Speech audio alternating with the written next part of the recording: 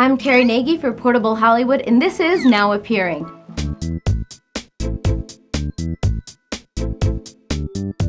Let's take a look at the new movies opening in the USA this weekend. Based on the popular kids novel of the same name, How to Eat Fried Worms premieres this week. On his first day at his new school, Billy accidentally challenges a school bully. To save face with his new classmates, Billy agrees to a bet where he must eat 10 worms in one day. Looks like some feel good family entertainment. Alley oop. Mmm, hmm, that's a good omelet. For you sporty types, Mark Wahlberg's Invincible is probably your kind of movie.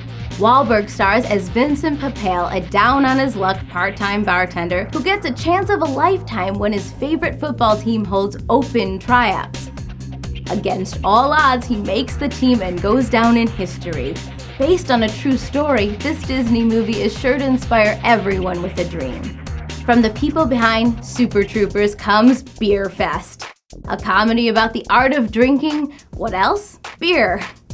Two brothers visiting Germany discover an underground beer games competition during Oktoberfest and vow to win it all. If you're into silly comedies, this is probably for you. I wish it were winter. We could make it into ice blocks and skate on it, hmm. and then melt it in the springtime and drink it. Check back with me every week for the next Now Appearing.